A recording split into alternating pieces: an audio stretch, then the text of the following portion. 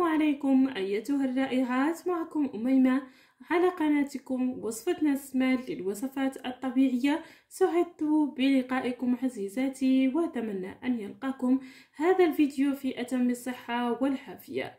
وصفتنا لنهار اليوم فهي وصفة جد مفيدة وفعالة لعلاج مشكل تشققات الأقدام وخشونة القدمين.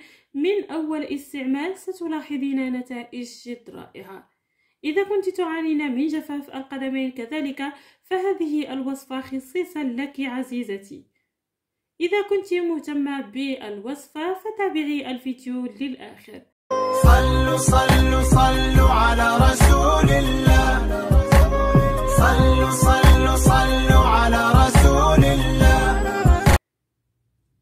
وصفتنا لنهار اليوم عزيزتي مكونة من ثلاث مكونات فقط للحصول على قدمين وأيادي ناعمة بامتياز من أول استعمال ستلاحظين نتائج جد مرضية. كمكون أول عزيزتي ستحتاجين إلى الفازلين. يفضل ويستحسن عزيزتي أن يكون الفازلين الطبي للحصول على نتائج رائعة وجد مرضية. ستحتاجين كمقدار من الفازلين المعروف عليه على أنه مفيد جدا لعلاج التشققات ويعطي ترطيب وتنعيم عالي الجودة للأقدام واليدين كذلك. ستحتاجين ثلاث معالق كبيرة من الفازلين لعلاج مشكل التشققات وكذلك ترطيب وتنعيم الأيادي. أما المكون الثاني فهو زيت الورد فزيت الورد مفيد ورائع ومعروف عليه على أنه يعطي ترطيب ولمعان وليونة للجلد ولهذا فهو جد مفيد وسيعطيك نتائج رائعة في هذه الوصفة وسيساعدك على التخلص من خشونة الأقدام وكذلك ترطيب اليدين بامتياز. ستحتاجين عزيزتي كمقدار من زيت الورد في هذه الوصفة إلى ملعقة صغيرة من زيت الورد. كذلك زيت الورد له رائحة مميزة ولهذا فهو أيضا مفيد سيعطيك رائحة زكية للأقدام. وأما المكون الثالث والأخير في هذه الوصفة فهو أيضا عبارة عن زيت فهو يعطي تنعيم وترطيب وكذلك بياض. ناصع للأقدام وكذلك لليدين وهو زيت الغريسيرين. فالزيت الغريسيرين معروف عليه على أنه من الزيوت المبيضة والملينة والمرطبة للبشرة ولهذا فهو سيعطيك أقدام ناعمة ورطبة من أول استخدام وكذلك خالية من التشققات.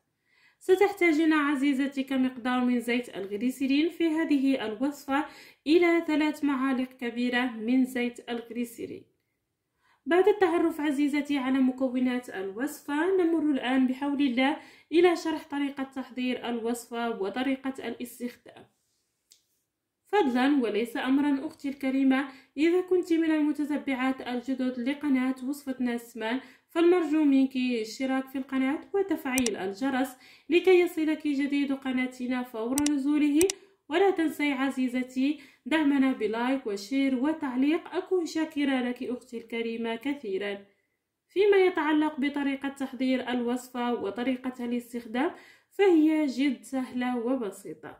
في إناء أو في قارورة زجاجية محكمة الإغلاق تقومين بوضع الفازلين الطبي. يستحسن ويفضل أن تقومي باستخدام الفازلين الطبي. وإذا لم تتوفري على الفازلين فيمكنك استبداله بشمعة تقومين بإذابتها جيدا وتضيفين لها باقي الزيوت.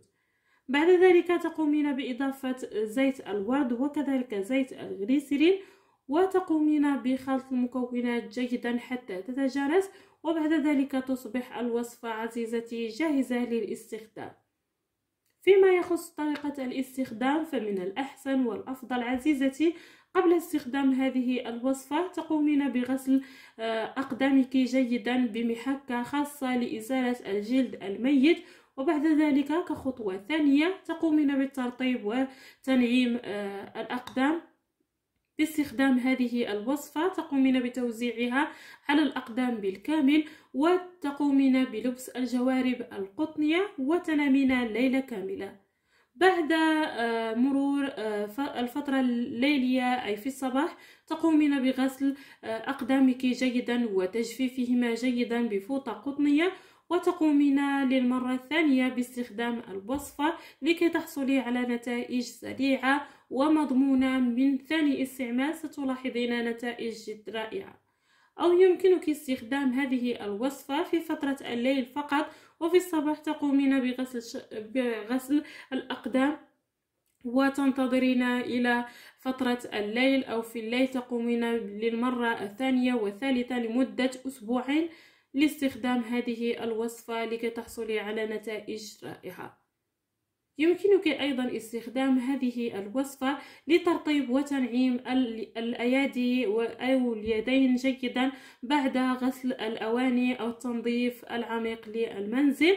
كل ليلة تقومين بترطيب اليدين باستخدام هذه الوصفة ستعطيك نتائج جد رائعة من أول استعمال. كانت هذه هي وصفتي عزيزتي لنهار اليوم. دمتم في رعاية الله وإلى اللقاء في وصفة أخرى إن شاء الله. السلام عليكم أيتها الرائعات معكم أميمة على قناتكم وصفة نسمال للوصفات الطبيعية. سعدت بلقائكم عزيزاتي وأتمنى أن يلقاكم هذا الفيديو في أتم الصحة والعافية. وصفتنا لنهار اليوم فهي وصفة جد مفيدة وفعالة لعلاج مشكل تشققات الأقدام وخشونة القدمين. من أول استعمال ستلاحظين نتائج جد رائعة. إذا كنت تعانين من جفاف القدمين كذلك فهذه الوصفة خصيصا لك عزيزتي. إذا كنت مهتمة بالوصفة فتابعي الفيديو للآخر. صلوا صلوا صلوا على رسول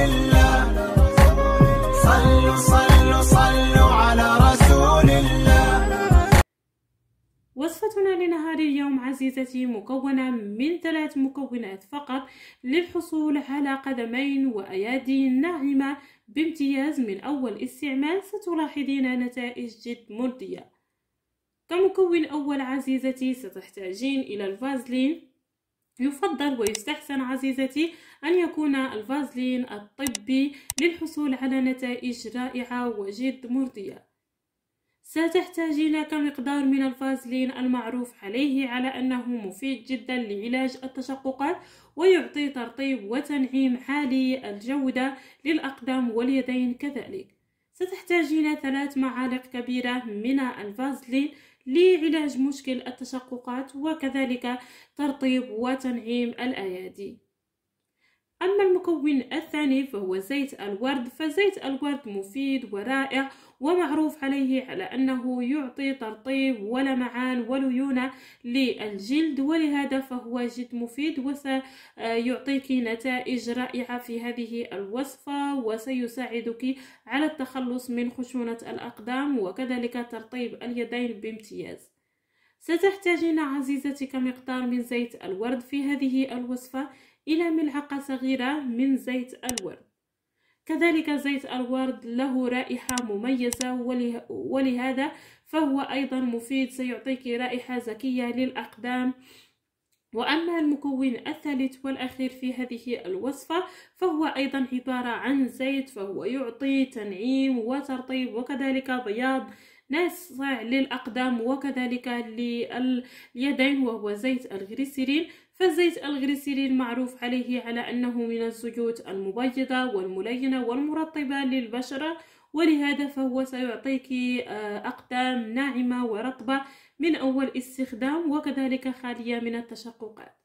ستحتاجين عزيزتي كمقدار من زيت الغليسرين في هذه الوصفة إلى ثلاث معالق كبيرة من زيت الغليسرين بعد التعرف عزيزتي على مكونات الوصفة نمر الآن بحول الله إلى شرح طريقة تحضير الوصفة وطريقة الاستخدام.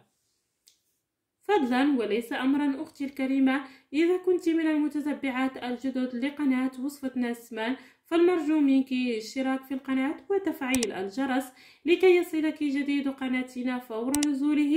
ولا تنسي عزيزتي دعمنا ب like و share وتعليق. أكون شاكرة لك أختي الكريمة كثيرا. فيما يتعلق بطريقة تحضير الوصفة وطريقة الاستخدام فهي جد سهلة وبسيطة. في إناء أو في قارورة زجاجية محكمة الإغلاق تقومين بوضع الفازلين الطبي. يستحسن ويفضل أن تقومي باستخدام الفازلين الطبي.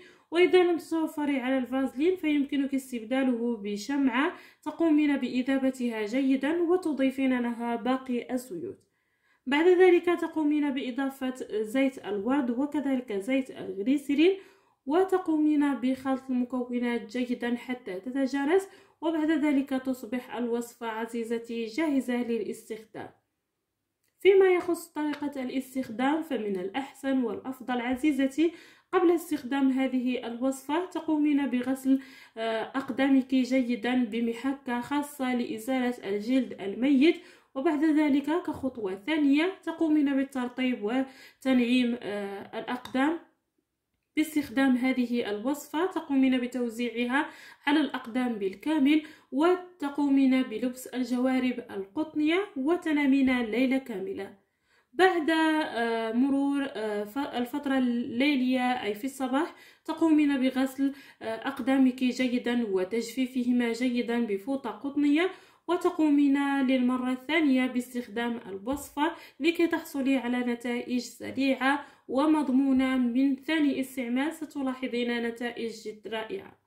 أو يمكنك استخدام هذه الوصفة في فترة الليل فقط وفي الصباح تقومين بغسل. بغسل الأقدام وتنتظرين إلى فترة الليل أو في الليل تقومين للمرة الثانية والثالثة لمدة أسبوعين لاستخدام هذه الوصفة لكي تحصلي على نتائج رائعة يمكنك أيضا استخدام هذه الوصفة لترطيب وتنعيم الأيادي أو اليدين جيدا بعد غسل الأواني أو التنظيف العميق للمنزل. كل ليلة تقومين بترطيب اليدين باستخدام هذه الوصفة. ستعطيك نتائج جد رائعة من أول استعمال. كانت هذه هي وصفتي عزيزتي لنهار اليوم. دمتم في رعاية الله. وإلى اللقاء في وصفة أخرى إن شاء الله.